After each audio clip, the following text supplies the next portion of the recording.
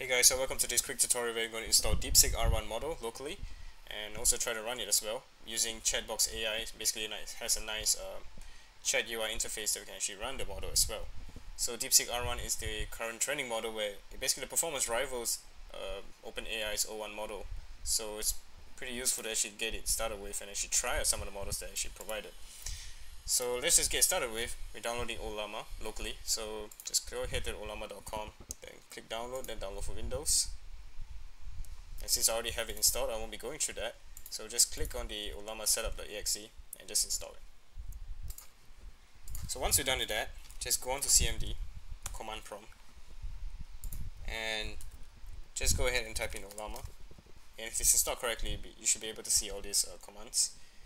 And go on to Ollama list which gives you the list of models that are in installed. So currently I do not have any installed so some of the DeepSeek R1 models that I provided is in this parameter range from 1.5 billion all the way up to 671 billion.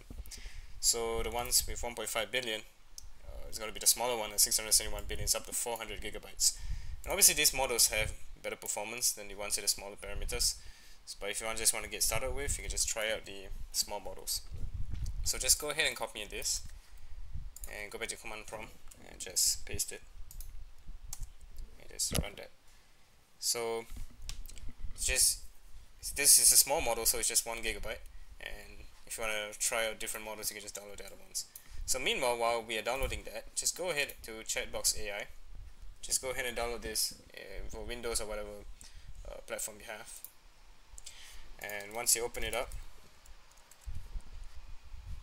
you should have reassembled this so once we're done installing we will come right back. Okay so now that we're done installing it should say something like success and you're able to type any messages here so you can just go ahead and try out a model and just say hi. Oh, Ollama sorry not hi DeepSeek. And it actually goes through the thought process just like O1 model and it's kind of funny so it just goes through what's its reasoning and then it comes up with a response. So let's just wait for it to complete. See how it performs. And there you go it comes up with a response it shows that she thought of it and now I just this is final one. So which is kind of cool. So um, just doing it all here you can see the code it's not exactly readable. We can actually go ahead and use chatbox that we installed. So just go ahead and open up the chatbox click on settings change the model provider to Ollama and you should be able to see your model here as well. And able to change all these parameters. But just go ahead and click save and there you go you basically have a DeepSeek model which is uh, similar to ChatGPT. So just go ahead and say hi as well.